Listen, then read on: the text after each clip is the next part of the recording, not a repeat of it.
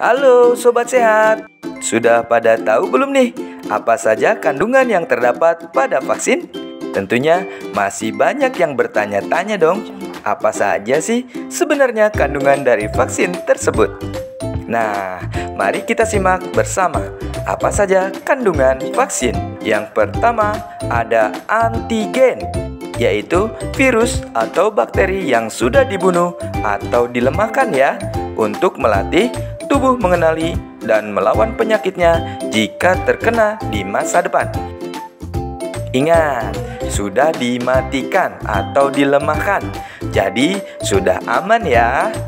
Yang kedua, ada adjuvan adalah substansi pembantu yang memperkuat respon imun terhadap antigen. Yang ketiga, ada pengawet untuk memastikan vaksin tetap efektif. Yang terakhir, ada stabilisator untuk melindungi vaksin selama penyimpanan dan saat didistribusikan. Nah, itu dia kandungan di dalam vaksin ya, sobat sehat. Dan perlu diingat bahwa semua bahan vaksin sudah melalui uji klinis dan pemantauan yang ketat untuk memastikan keamanannya. Jadi, sobat sehat tidak perlu khawatir ya untuk divaksinasi. Lindungi diri dan keluarga dari COVID-19. Wujudkan masyarakat yang sehat dan produktif dengan vaksinasi COVID-19.